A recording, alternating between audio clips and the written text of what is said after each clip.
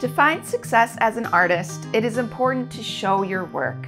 And sharing a curated selection of your artwork on Instagram that is representative of your signature style can help you attract your ideal customers and build your artist brand.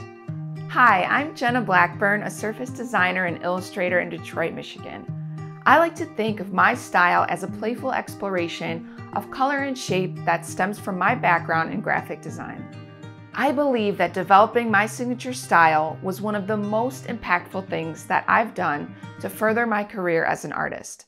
And looking back, I can identify a few turning points during my process of figuring out my style.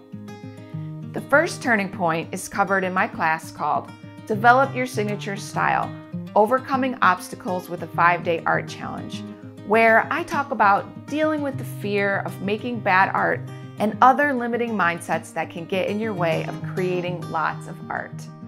The second turning point in my journey of developing my signature style was when I started planning my Instagram posts in Adobe InDesign, which is what I will cover in this class.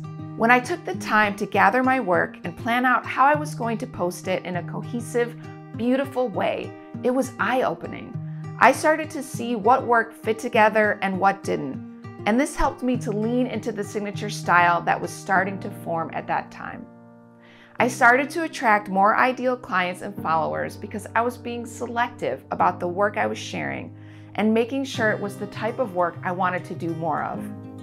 In this class, I'll walk you through how to set up a template and you'll learn the essential tools and panels of InDesign that are needed to import images, resize and move images around, and work with color in Adobe InDesign then I'll give you my tips for analyzing your work so that you can style a balanced and refined Instagram grid.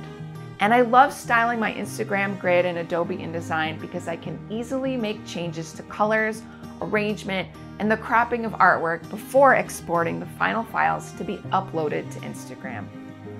And InDesign works really well with both Photoshop and Illustrator files so you can incorporate a mix of vector and raster elements in your layout with ease. This class is for complete beginners to Adobe InDesign, as well as creatives that may already know InDesign and want to learn how to use it to style their Instagram grid and refine their signature style.